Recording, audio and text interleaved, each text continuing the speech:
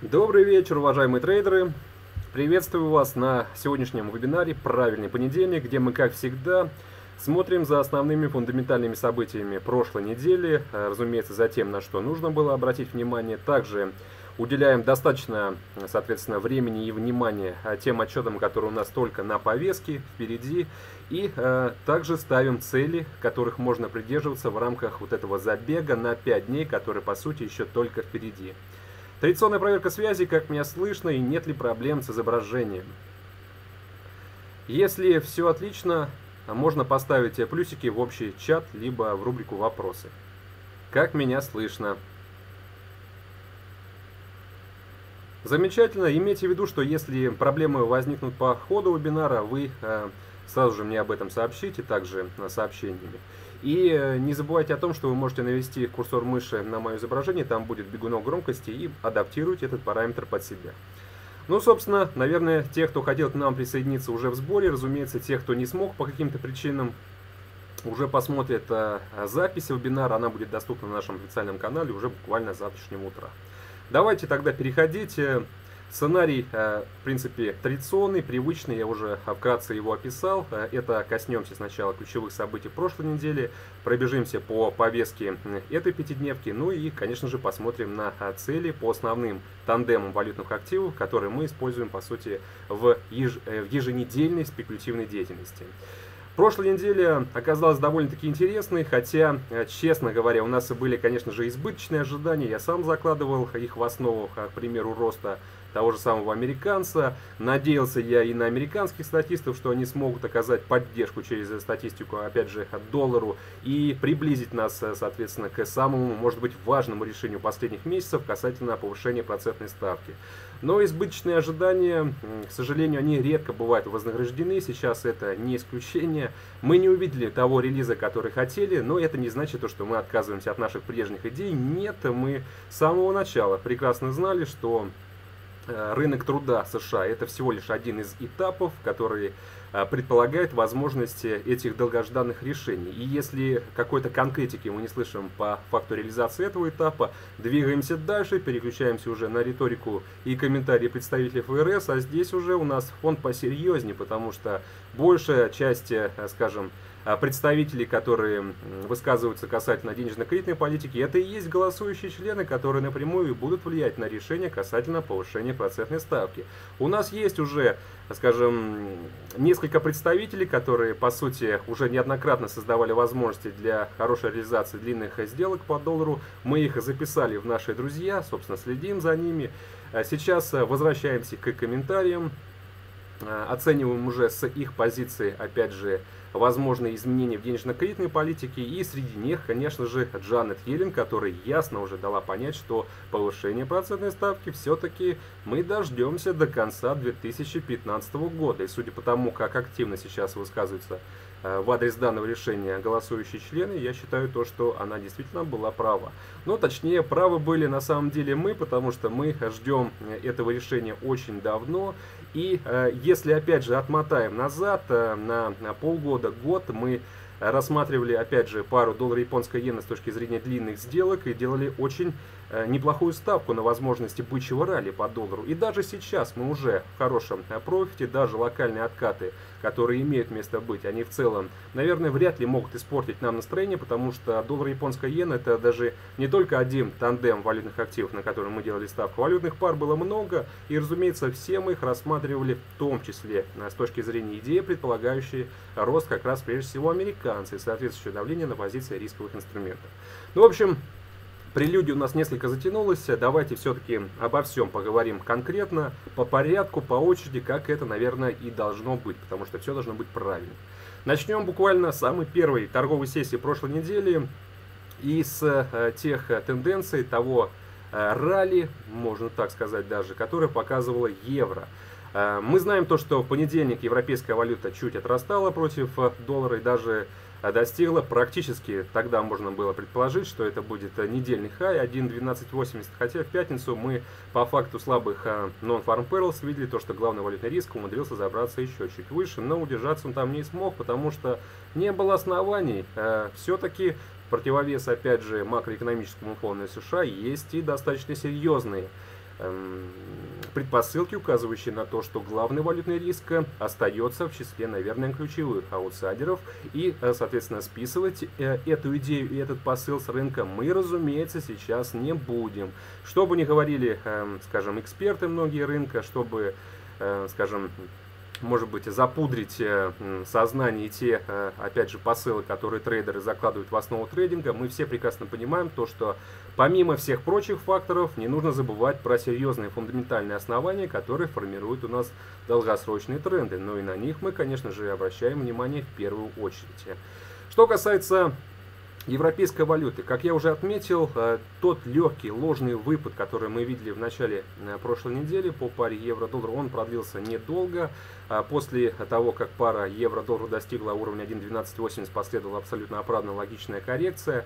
Повышенный, кстати, спрос на евро наблюдался в первые дни опять же, э, по причине очередного негатива из Китая, в частности, как вы знаете, прибыль крупнейших китайских компаний в августе снизилась на 8,8%. Это тут же вызвало разгрузку мировых фондовых рынков и повысило привлекательность защитных активов, поэтому евро оказалось в. То есть это идея вечная на самом деле. Если, хотя она сейчас куда более а, актуальнее, чем, скажем, год назад, потому что сейчас мы прекрасно уже по факту видим то, что настоящим возмутителем спокойствия у нас остается Китай. И если азиаты во время, скажем, начала своих торговых сессий э, и активного трейдинга. Начинают негативить в плане динамики, э, эта сессия э, по принципу цепной реакции азиатская подхватывается прочими площадками, что в целом становится причиной плохих настроений, повышает спрос на защитные инструменты. А мы знаем то, что евро – это валюта фондирования, соответственно, ее используют для а, финансирования операций керри трейда, для финансирования, опять же, защитных а, сделок. Ну и если назревают негативные тенденции, это третий сценарий. Европейская валюта – это один из активов, которые, опять же, используются для хеджирования, опять же, коротких а, сделок по европейскому фондовому рынку. То есть эм, Наверное, как мы пытаемся провести параллели с американским рынком, то есть тогда, когда у нас э, нет э, стоящих фундаментальных отчетов, макроэкономических поводов, но нам хочется найти на рынке хорошую идею, чтобы объяснить, э, ну или по крайней мере попытаться с фундаментальной точки зрения спрогнозировать э, динамику, опять же, доллара, мы смотрим за поведением американских трежерис, облигаций. На евро действует тоже такая же, в принципе, логика, но в частности больше даже не трежерис, а немецкие бундесы. Но в целом еще не забывайте о том, что может быть даже сейчас более пре преимущественным, скажем, подходом к трейдингу будет тот сценарий, который я буквально вот описал несколько минут назад. То есть, если просыпаетесь, видите, что шанхайский композитный индекс сыпется вниз, можно даже смело не смотреть уже содержание экономического календаря, понимая то, что а, сейчас именно эти тенденции, точнее настроенческие, через азиатский фондовый рынок и будут доминировать на собственно, всех финансовых площадках.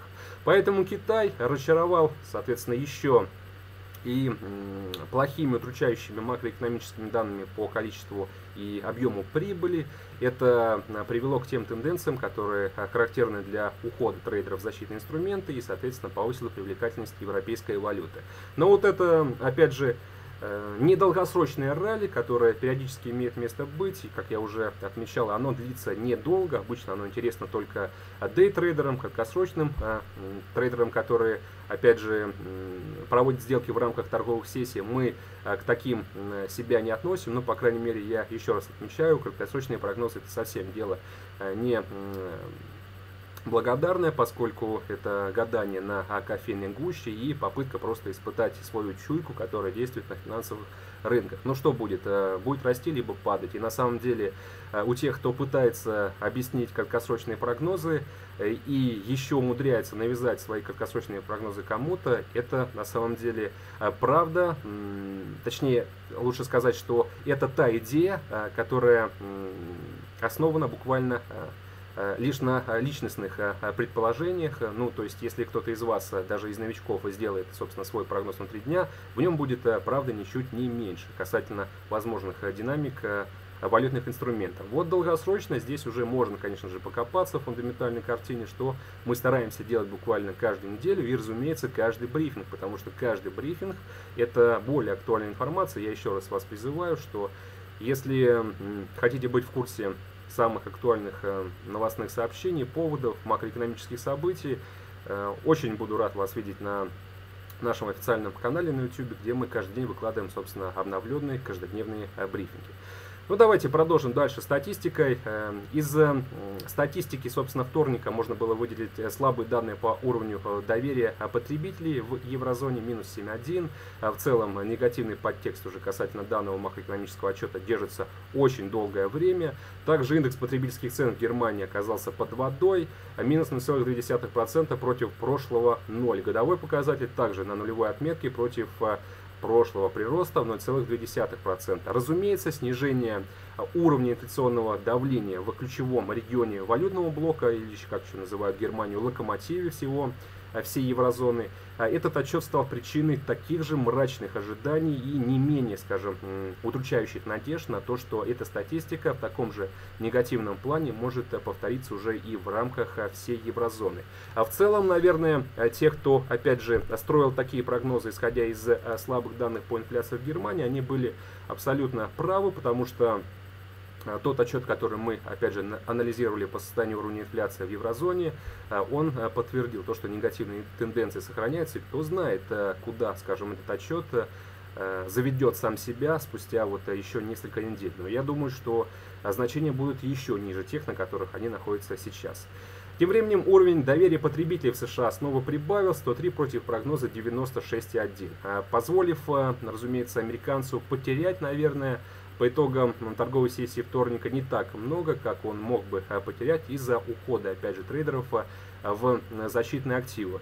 Но, наверное, логичный вопрос, почему, если доллар относится к защитным инструментам, в связи с уходом трейдеров в защиту, он не отличается ростом. Не стоит забывать про то, что конкурентом доллара, э, в частности в тандеме USD с иена, остается японский актив. И он э, обладает куда более защитными свойствами, то есть это уже показывает практика.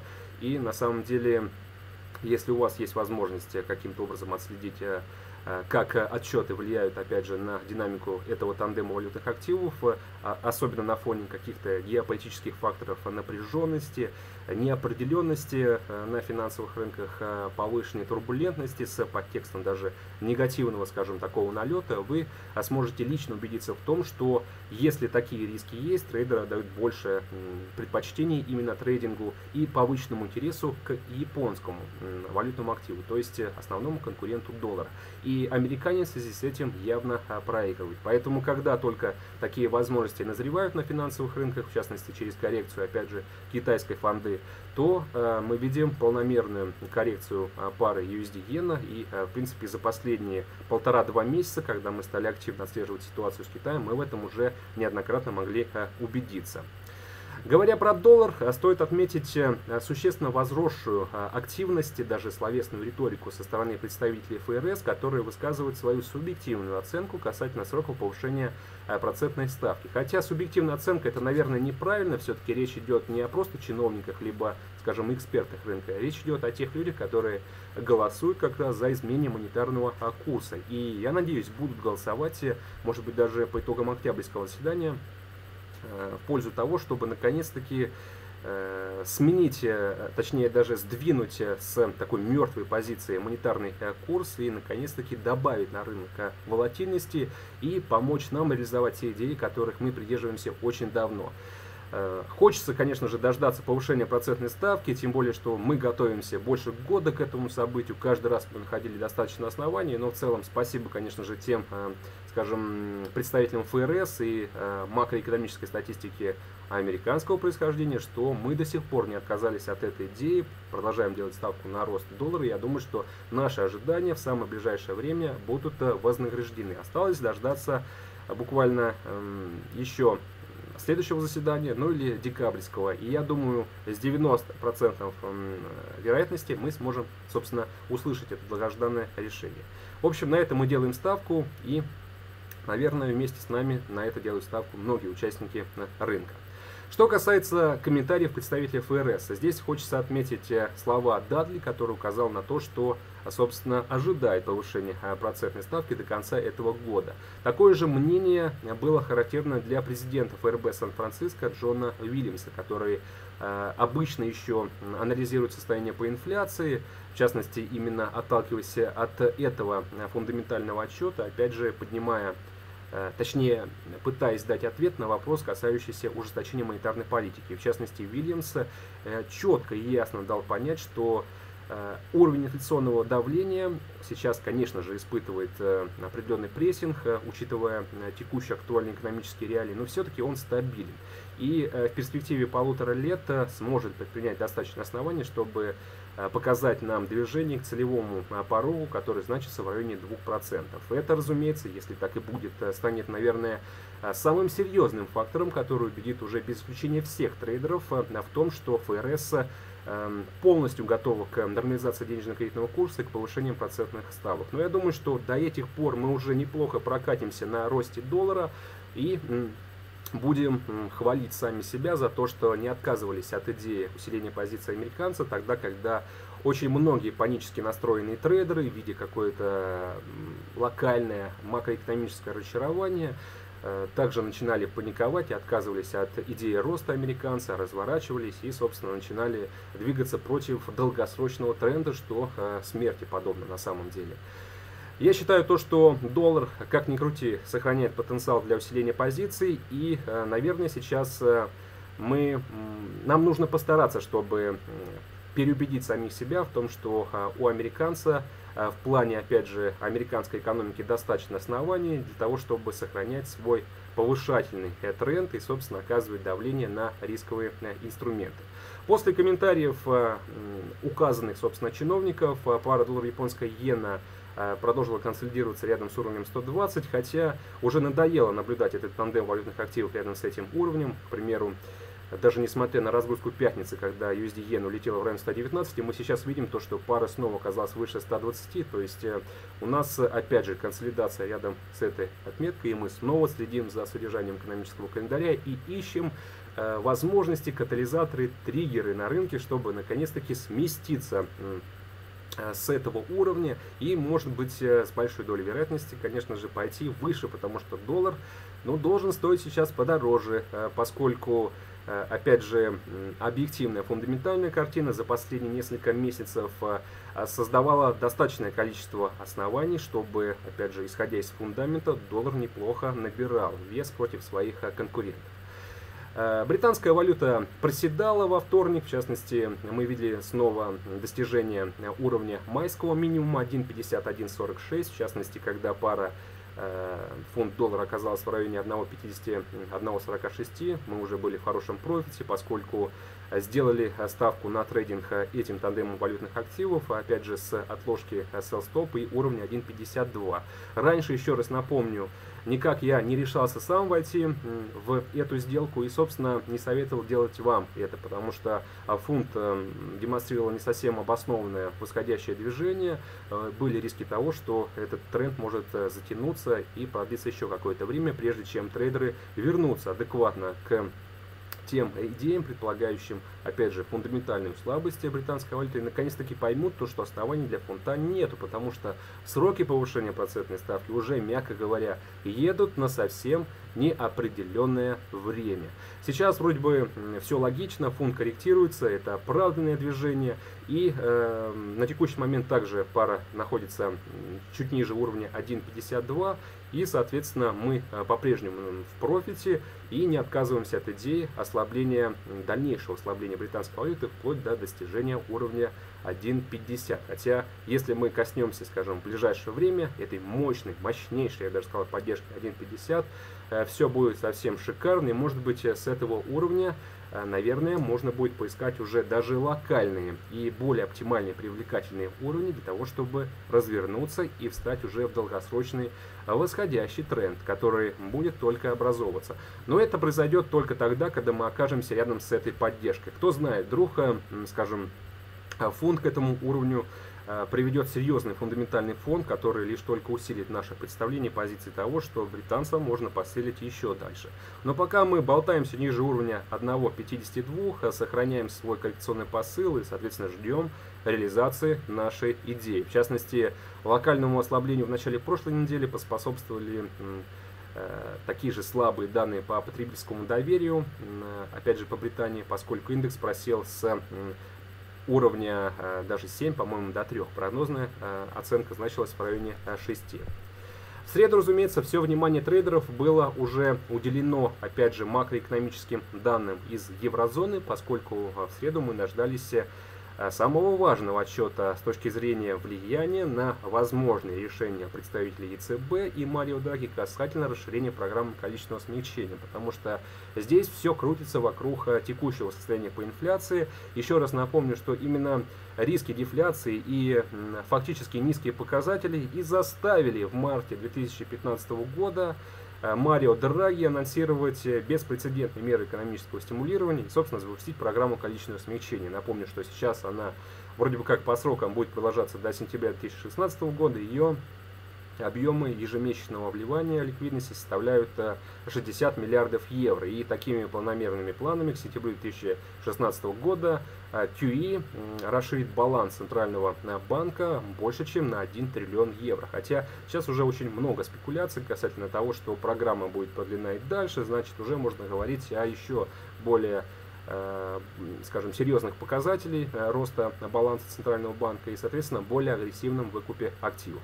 Давайте посмотрим на а, статистику по инфляции. В частности, индекс потребительских цен ушел на отрицательную территорию, указав уже на а, фактически свершившуюся и реализованную угрозу дефляции. Это годовой показатель. Если месячно можно было еще списать, скажем, на какое-то локальное проявление, может быть такой же недельное либо внутримесячное снижение цен на энергоресурсы, годовой показатель уже явно указывает на наличие тенденции снижения этого показателя, а значит снова возвращает нас к идее того, что риски дефляции уже реализовались, э, с потребительской активностью, потребительским спросом будут еще большие проблемы, и если страдает потребительский спрос, значит э, можно полномерно ставить крестики в таких макроэкономических драйверах, э, как темпы экономического расширения.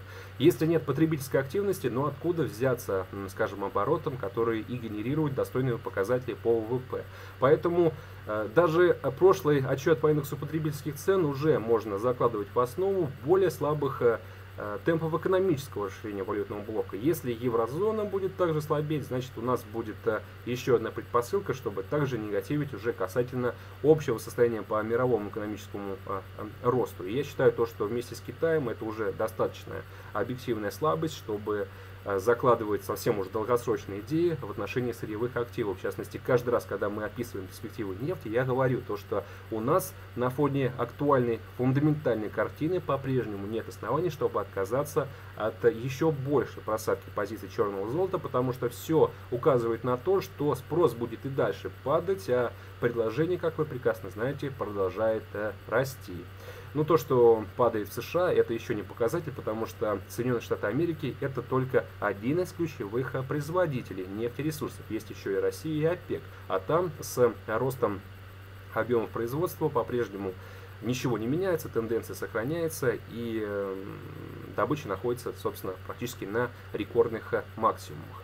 Поскольку уровень инфляционного давления в стране в еврозоне так и не смог а, покинуть минимальных годовых значений, Э, разумеется, тут э, сам собой напрашивается вывод. Европейскому мегарегулятору необходимо предпринимать дополнительные шаги по разгону инфляции и стимулированию темпов экономического э, роста.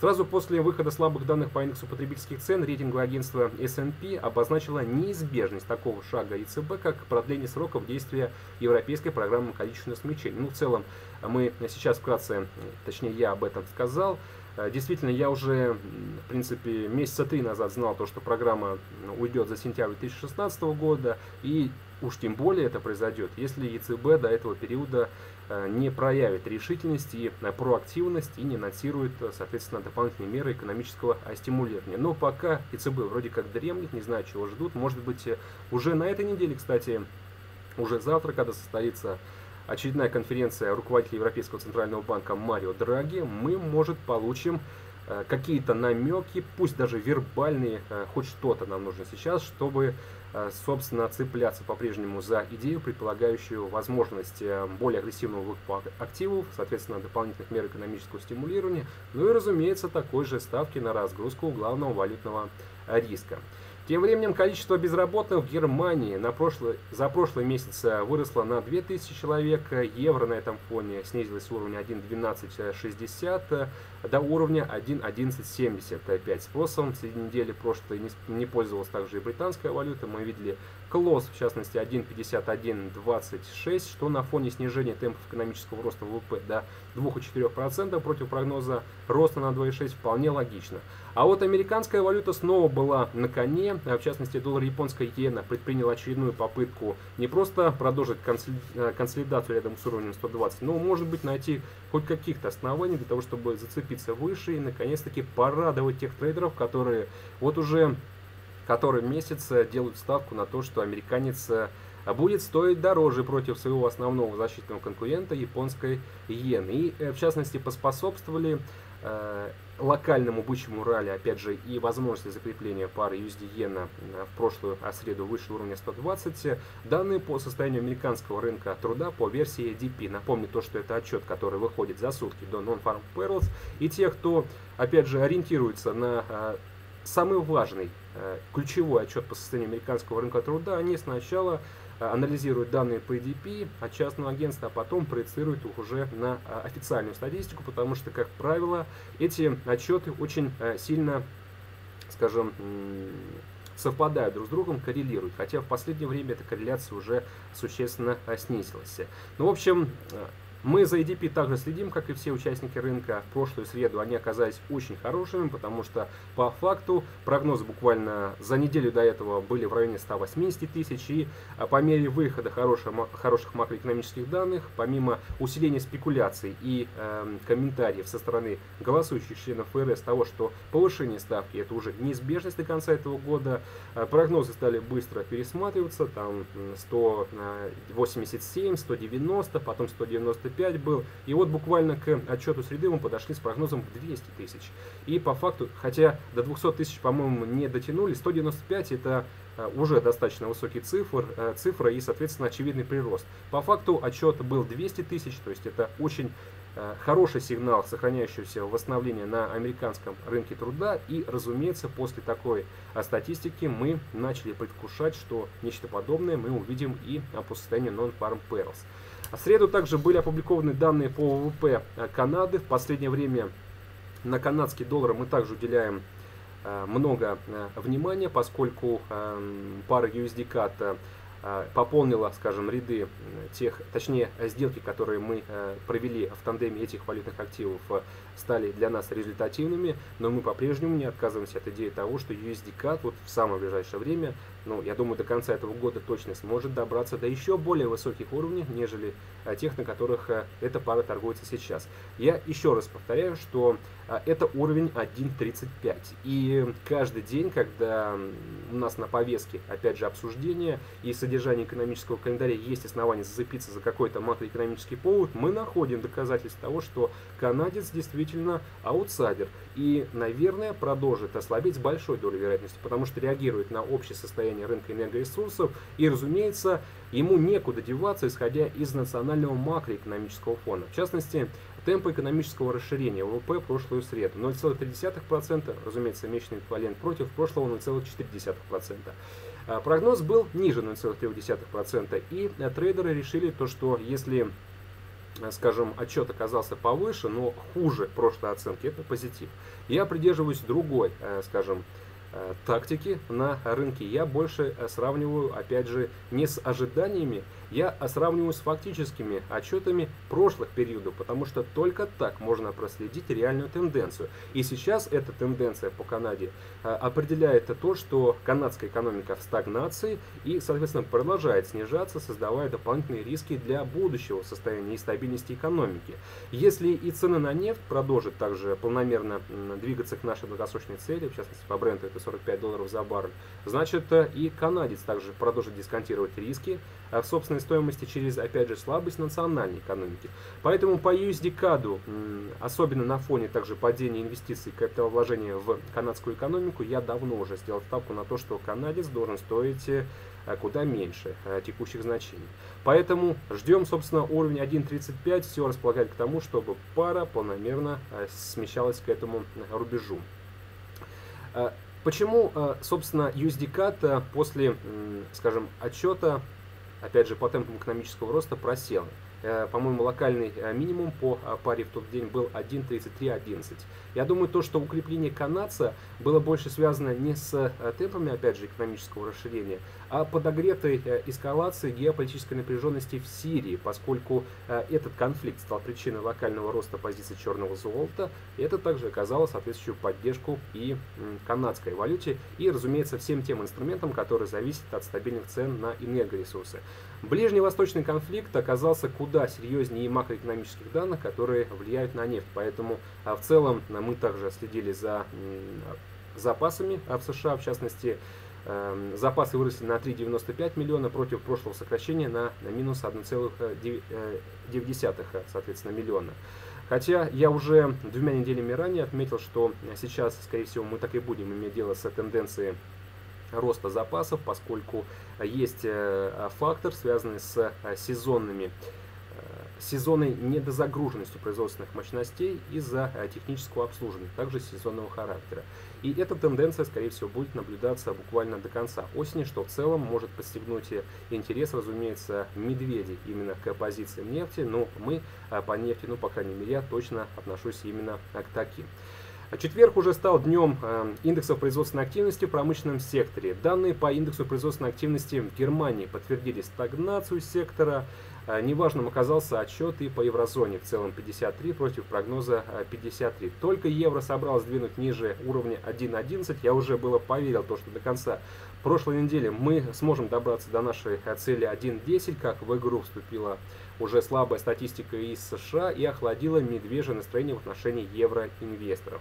Первичные заявки на пособие по безработице в США 277 тысяч против прогноза 270. Хотя здесь, если мы будем, опять же, детально анализировать ситуацию, еще раз напомню, что если отчет ниже 300 тысяч, значит смело можно закрывать глаза уже на фактические цифры, потому что речь идет о позитиве, который сохраняется уже на протяжении более 30 недель, и это самый затяжной э, цикл восстановления сектора за последние 40 лет. То есть э, эта тенденция сохраняется, это реальный тренд, который указывает на улучшение сектора, на реальное восстановление. И э, уровень безработицы, который на текущий момент в США находится на значении 5,1% в одном шаге, 0,1% от той цели, которая была поставлена в основе деятельности ФРС после кризиса 2008 года и после краха Lehman Brothers. Сейчас эта цель уже реализована, еще чуть-чуть Э, если бы Non-Farm Payrolls не подвели, я уверен, то, что 5% мы бы смогли коснуться по безработице уже даже вот буквально в прошлую пятницу. Но учитывая динамику заявок на пособие по безработице, я верю в то, что прошлое статистическое разочарование пятницы это только лишь локальное проявление. У нас э, достаточно сигналов, указывающих на то, что доллар будет дальше расти. Я считаю то, что э, уже следующие, точнее даже Э, получается, ноябрьские non-farm payrolls смогут э, реабилитировать э, трейдеров в отношении, точнее, реабилитировать американцев в отношении трейдеров и по отношению к американской статистике по состоянию рынка труда. Индекс деловой активности в производственном секторе США ISM 52 против прогноза 56. Не обошлось, в частности, ближе к концу прошлой недели и без позитива для доллара, в частности, индекс деловой активности уже по версии Market оказался лучше 53,1 и смог оттолкнуться от локального минимального уровня, который значился в районе 51 э, и с небольшим. Прогноз был, кстати, был 51,3, э, то есть по факту э, статистика оказалась очень даже ничего. Э, евро-доллар закрыла четверг на уровне 1.1993, доллар японская иена просела в район 119.91. Фунт продолжил снижаться в четверг и добрался до нового минимума э, на отметке 1.5106. Ну и, разумеется, остались у нас пятничные данные, состояние рынка труда, non-farm payrolls, уровень безработицы и, соответственно, динамика по росту заработных плат. В целом, давайте сейчас не будем конкретно останавливаться на цифрах, вы их прекрасно знаете. Эм, количество новых рабочих мест хуже ожиданий, уровень безработицы на том же уровне. Но вот э, что больше всего разочаровало лично меня, это отсутствие прироста в заработных платах. Я было надеялся на то, что индекс потребительских цен в рамках США сможет найти достаточно поводов, оснований для постепенного роста. Но получилось так, что, опять же, на предположениях э, далеко мне уехать не удалось. Но я не отказываюсь от идеи э, того, что может быть э, локальное такое месячное э, разочарование будет сменено уже в следующем месяце и по факту следующего отчета Non-Farm Pals уже более позитивными данными, поэтому я все-таки стараюсь оценивать общий фундаментальный фон и не цепляться за именно локальные слабые макроэкономические релизы.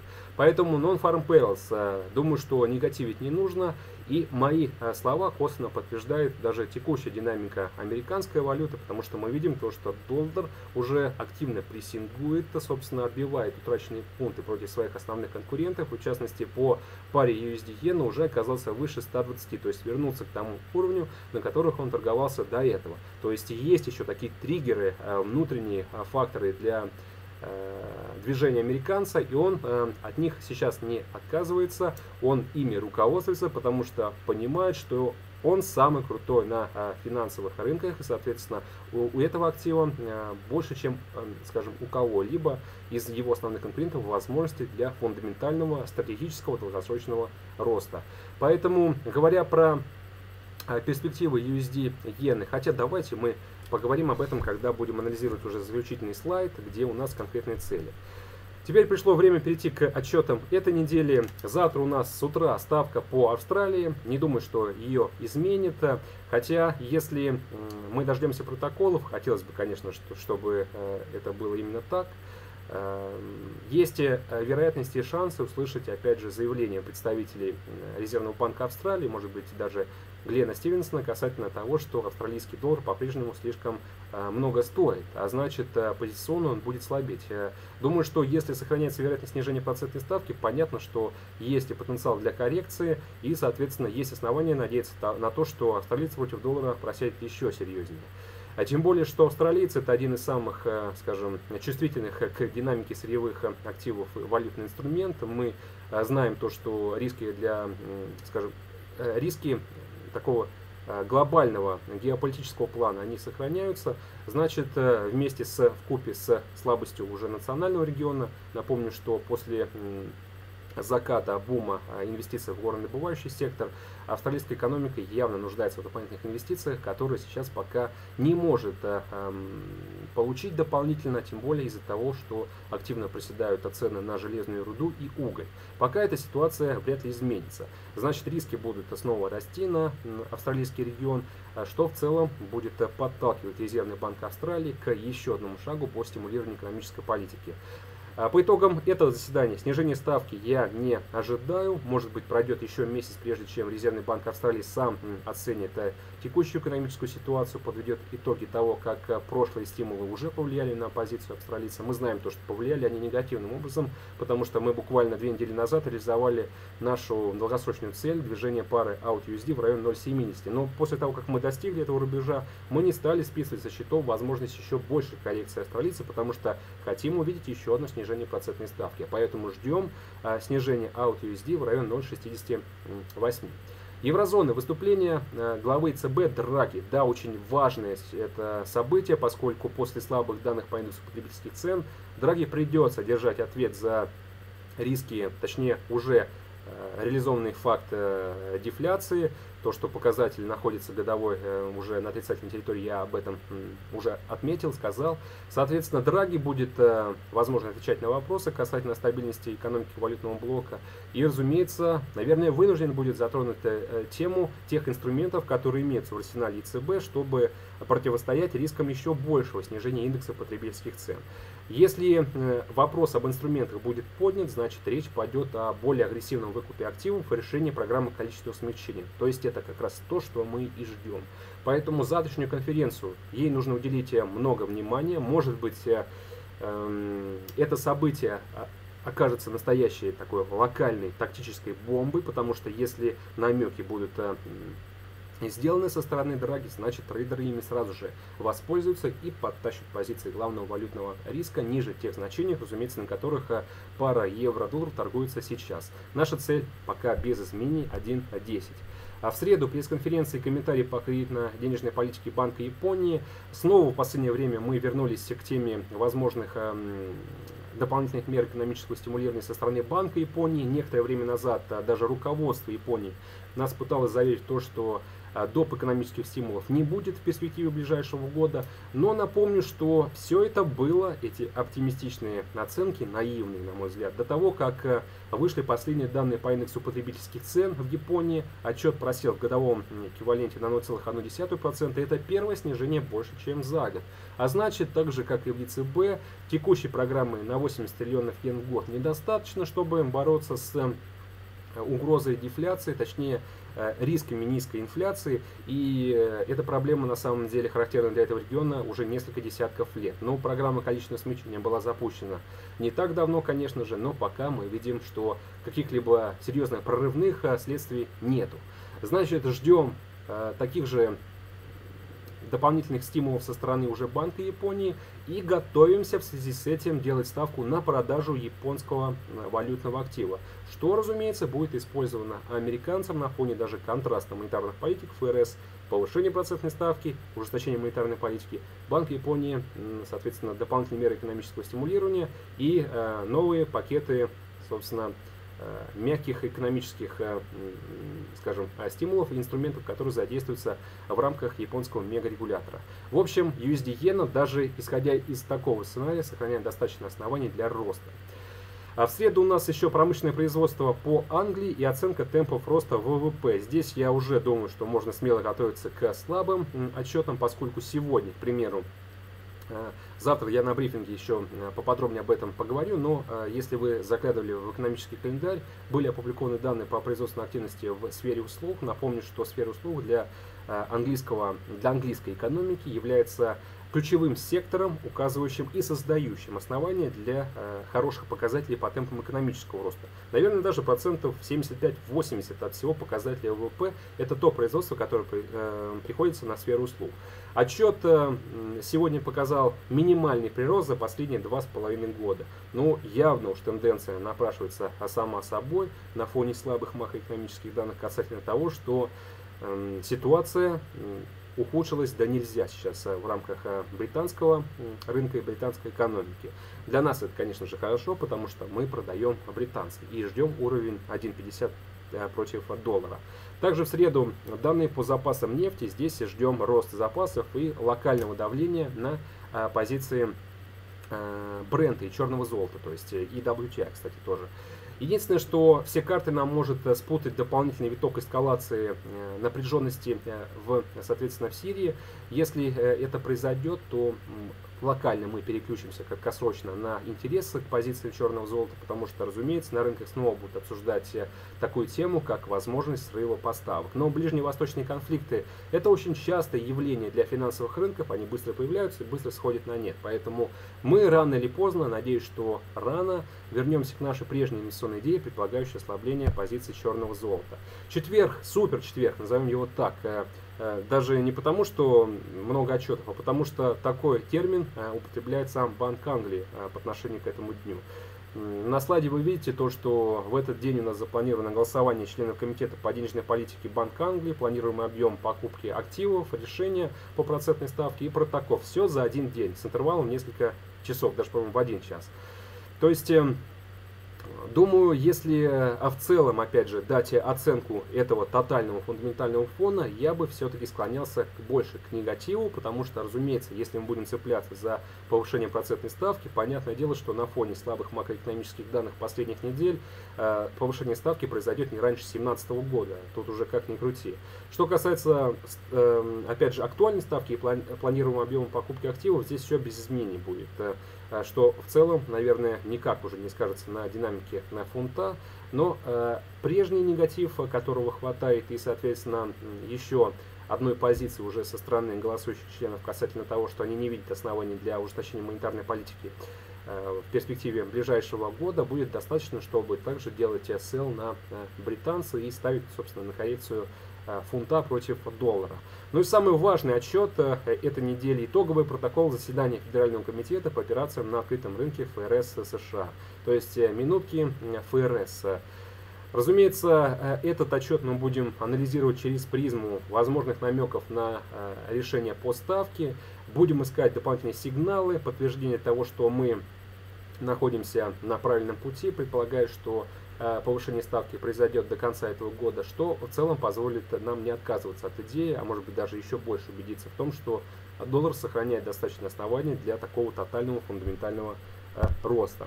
И в пятницу довольно спокойный день, э, будем в основном концентрироваться, фокусироваться на данных по Канаде, изменение числа занятых и уровень безработицы. Думаю, что если я уже в негативном ключе высказался по канадской экономике, было бы неплохо, конечно же, дождаться еще одного статистического расчарования уже канадского происхождения, чтобы уж э, эм, начиная со следующей недели снова активно возвращаться к идее, предполагающей то, что пара USD CAT э, снова найдет основание для движения выше сопротивления и уровня 1.33. То есть наша цель, еще раз напомню, 1.35.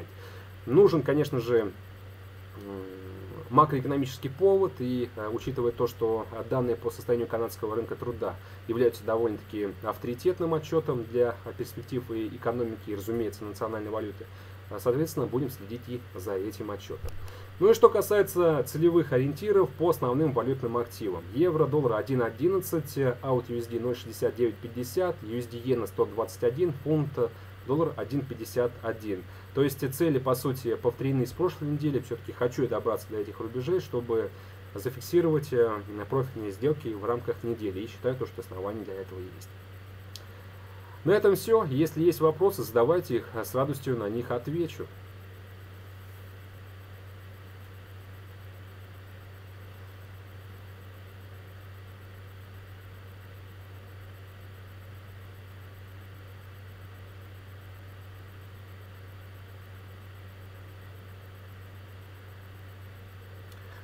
Ну, поскольку вопросов нет, э, большое всем спасибо за э, внимание. Увидимся, соответственно, уже в ходе завтрашнего брифинга. Ну, а следующий вебинар у нас пройдет 12 э, октября. Соответственно, буду рад видеть вас всех и там. Всего доброго, до свидания.